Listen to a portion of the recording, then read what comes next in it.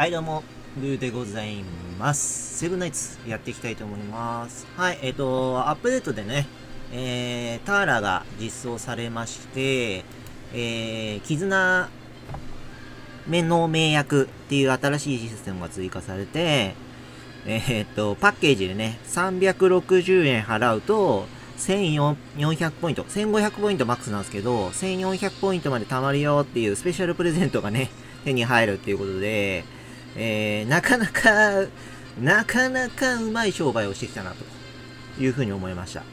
あのー、弟、無課金なんですけど、弟に問い、と、と、と、解いてみました。あのー、これ360円で、えー、ターラを手に入れるのに時短できるんだけど、どう？って聞いてみたんですよ。そしたら、あの、500円だったら出してもいいと言っておりました。なので、えー、まあ、マスター以上の方がどのぐらいいるかはちょっとわからないですけど、まあ、仮にね、5000人いたとして、で、5000人の人が、まあ、いっかって買うとしたら、まあ、それなりの効果があるなっていうふうに思ったんで、まあ、絶妙な値段かなと。メインのラッキーボックスより安いっていうね。うん。しかも、1400だから、どのぐらいの時短になるんだろうね。これ、約1ヶ月分の時短になるんじゃないかね。これ、お願いを聞いていく、聞いてっても、60ポイントしかたまんなくて、しかもそれが、えっと、すぐポイントになるんじゃなくて、プレゼントを交換するためのアイテムなんですよね。で、プレゼントを交換するには70個必要だから、2日目にならないと手に入らないわけですよ。それを繰り返していくわけですよ。ガチャ。そこ、それガチャなんですけど。それでガチャで当たりが100。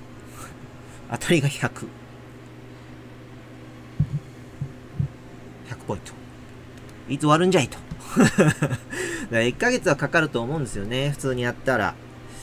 でもそれをまあ360円ね、短縮できるっていうことで、えー、まあ、なんだろう、セブンナイツプレイヤーにとって、まあ、面白いシステムになってるんじゃないかなと。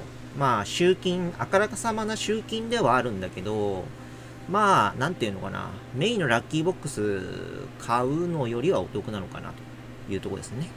まあ、一体じゃあ意味がないっていうところもあるんですが、地道に頑張れば、あのまあ、いずれね、情報修正とかもあるかもしれないし、うん。まあ、いろいろなことを考えていくと、まあ、いないよりはいた方がいいのかなっていうところですかね。はい。で、えっ、ー、と、今回はじゃあ何をやるのかっていうと、えっ、ー、と、フラグありましたね。えー、動画内でもご、あ、間違えた。動画内でもご紹介したんですけれども、えー、まさかね、まさかのまさかですよ。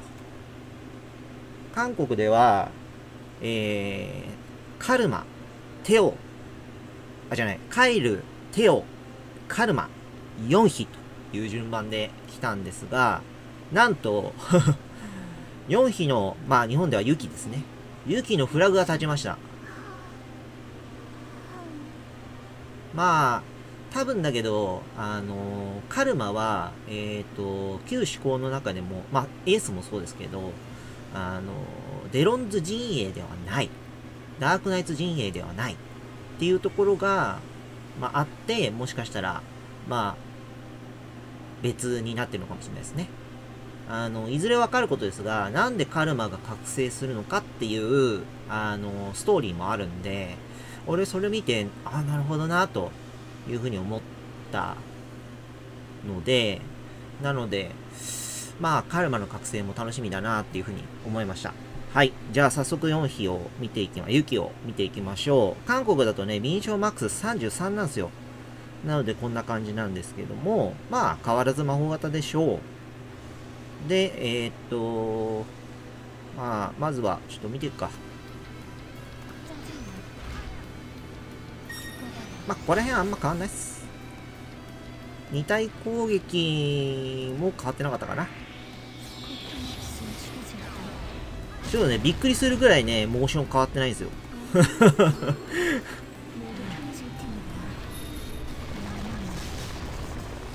ただ、覚醒がすごいです。活目せよ。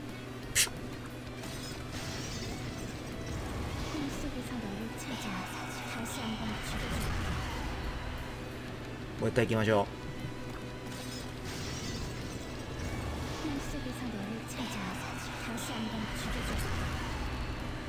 まあ、あのー、枕のボタンを押して見てくれた方はわかるかもしれませんけど、まあ、今、ユキはね、悪夢を見てる状態で、で、その悪夢に、まあ、飲み込まれそうになっていると。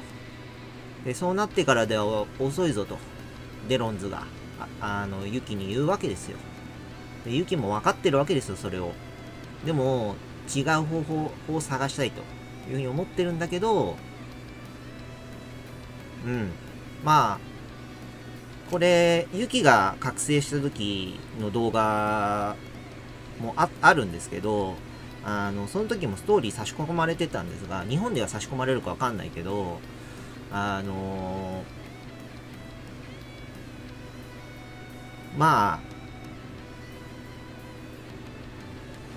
あ、悪夢とどう向き合っていくかっていうのが、あの、4比の、こう、覚醒におけるね、ストーリーの、えー、ポイントになります。で、あとはね、あの、ほんと実際覚醒した時に差し込まれるであろうストーリーをね、まあ見ていただいて、えー、確認していただければなと思います。で、続いて、えっ、ー、と、スキルの説明ですね。まあ、まず第三性能から見ていこう。第三性能、持続スキル、軽眼。自分が1回の最攻撃で最大ヒットポイントの30%を超えるダメージを受けると、そのダメージを30%まで軽減します。もうこれ日本では普通になってますね。でこれは韓国ではね、あの、か、新しいスキルでした。で、これが、えー、覚醒雪のスペックになります。で、スキル名、えー、持続スキル軽眼。通常攻撃時、無限の手効果が適用され、えー、べ、ての敵にクリティカル、えー、追加で味方全体の魔法力を80%増幅。さらに、自分に状態上免疫が与えられ、6ターンの間すべての攻撃を回避します。うん。韓国で自分に状態異常免疫って結構珍しいですね。うん。俺も使ってるんですけど、なかなか勝てないですね。俺が弱すぎて。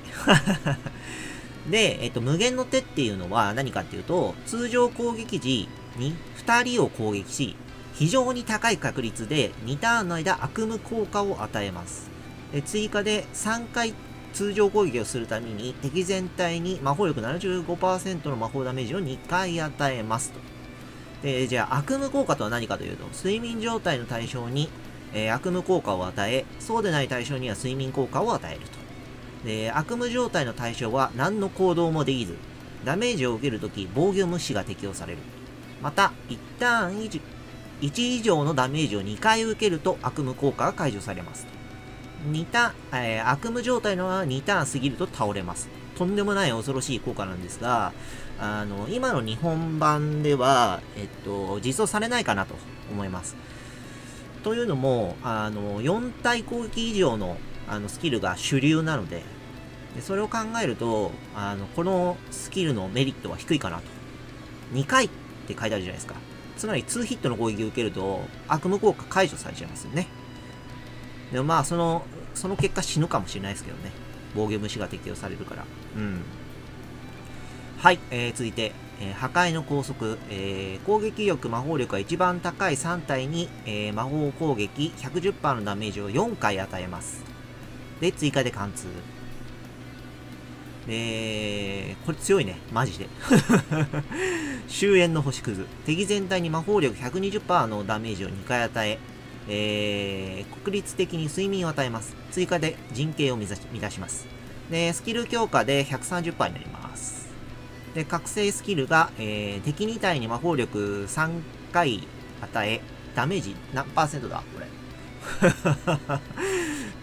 ちょっと待ってね。120%です。あ、違う。間違えた。覚醒だ。えー、っと、200%です。急所攻撃が適用されます。えー、追加で対象の間、2ターンの間悪夢効果を与ええー、自分の覚醒スキルをリセットしますこの覚醒スキルは他の覚醒キャラよりも多くでゲージが必要ですと要はこれもあの無限覚醒ってことですねただ日本のバートリーと違うのはゲージが溜まるのが遅いまあいつか日本にも現れるんじゃないですかねあのー日本にもっていうか、あの、覚醒、あの、なんだ、二律の有事みたいに、あの、覚醒ゲージの上がるスピードが上がるっていうスキルを持ったキャラとかは現れ、現れそうですよね。で、レベル50のスキル強化で、なんと5ターンバフ減。恐ろしい。はい。まあ、こんな感じですね。ちょっと当たってみる？弱いけど俺。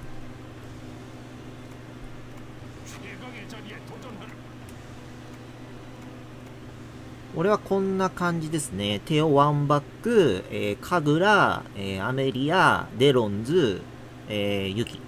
ちょっとね、もうこれ、時代遅れになってます。若干。うん。4番目になってますね。でも持ってないんだもん。上のやつ。かあの、神話覚醒クリスとか。オルカも持ってないし、覚醒、神話覚醒アイリーンも持ってないの。オルカは持ってはいるの。まあいいや。俺が見せたいのはユキだよ。あとは思った通りユキが動いてくれるか。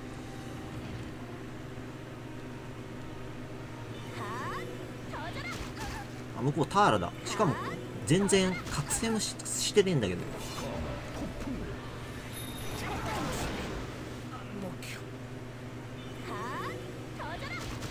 やばいぞ、ちょっとこれは。これは見せ場がないかもしれない、俺の。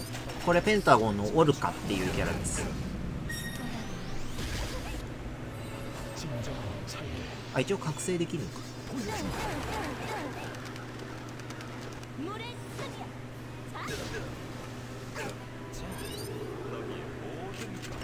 どっから出したって感じだよね。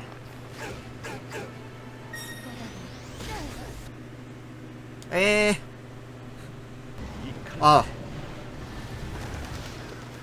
あもう手を使ったの？早っちょっと待って終わっちゃうよ戦いが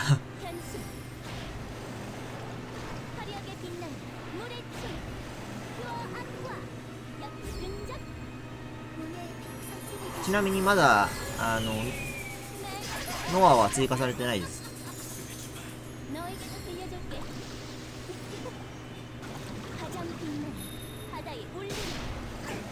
ギャース !4 死んだ生き返ったよし。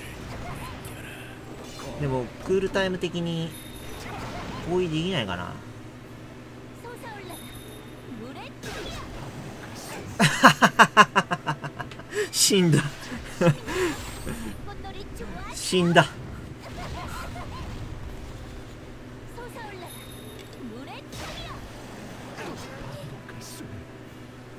めちゃめちゃ強いんだけど、ターラ。なんかこれターラの紹介になってるぞ、これ。マジか。俺、4匹だけ死んだんだけど。もう一回だけ。もう一、もう一回だけ。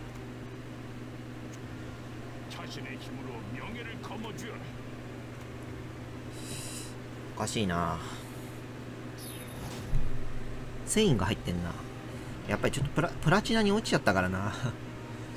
でもあれ神話覚醒クリスだろ。目の前にいるのは、星5、これ、レベル50ターラプラチナにもこういう人いるんですよね。後ろか。アイリンか、じゃああれ。これ神話覚醒キャラでまとめてあるね。とんでもねえわ。やっぱ一人だけ弱点だからすげえ勢いで攻撃すんな手をこれターラの追加攻撃マジ強いね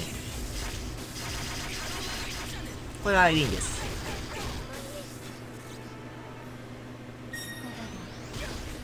通常攻撃はするんだけどな。スキル打ってくんないな。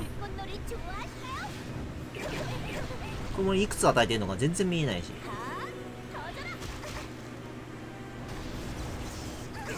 これねあのー、なんだっけ効果貿易だっけな、うん。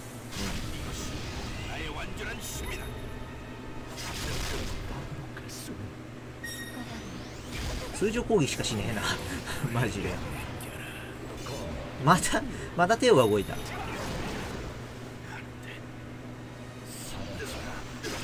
クリスは神話覚醒したら暴走なくなっちゃいました。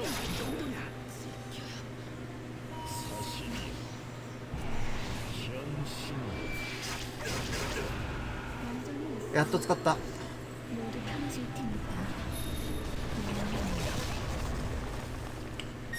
寝ました。悪魔入ったか？入ってないか。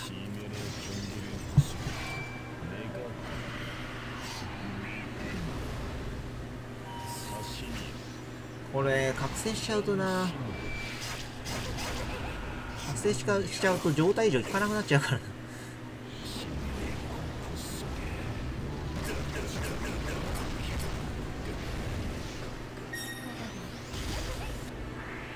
寝てるな。寝てるけどこれだとダメだな。あミスだ。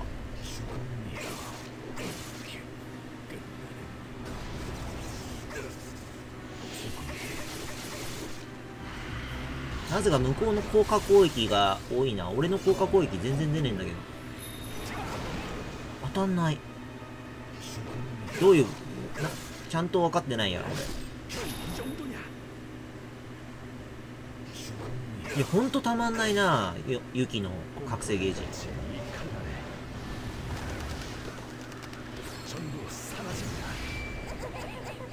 てかなんで当たんないの？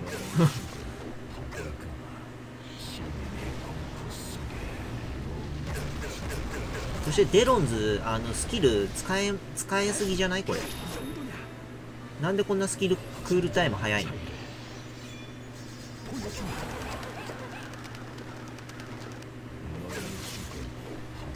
ああ早くない？めっちゃ早くない？それで次効果攻撃来てとかいう感じでしょ？これ。すいませんでした。ちょっとあんまいいとこ見せられなかったな。というわけで、えっ、ー、と、覚醒4匹でございました。あ、衣装があるか。衣装も一応見とくか。日本にはない衣装あると思うんでね。これじゃない。これパッケージだ。えっ、ー、と、ショッピング。衣装。最近の衣装はね、買う系の衣装があるんだよね。これがエシラのエシラだけど、これユキの衣装です。で、えー、っと、日本にないのあるかな？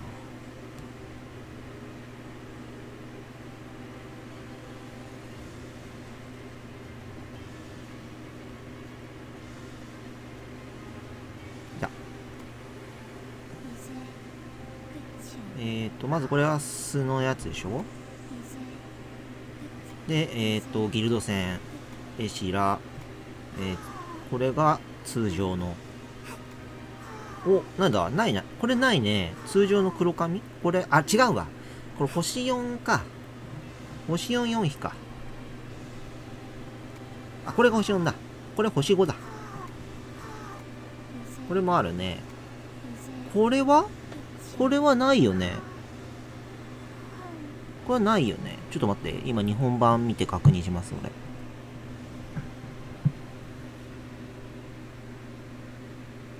うわめちゃめちゃ暑いな、今日。あのー、ディスプレイの前に、あの、俺、電気と、あ、電気じゃない、時計と一緒に、あのー、温度計ついてるやつ置いてるんですけど、それが今37度になってますね。まあ、あ、ないね。ないないないない。これもいずれ来ますね。これ多分覚醒キャラ専、覚醒専用のやつですね。期間限定の。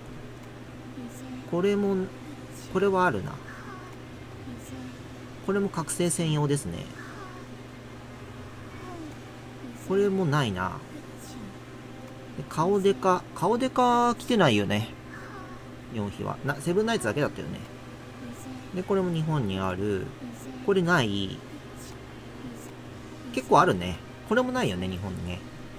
これ確か韓国のお盆かなんかに実装されたやつだった気がする。間違ってたらすいません。はい。というわけでね、まだまだロマン溢れる雪。おそらく、あの、新衣装、覚醒の衣装はね、何かしら追加してくると思いますんで、皆さん、ルビー、ターラで使い切っちゃダメダメバイバーイ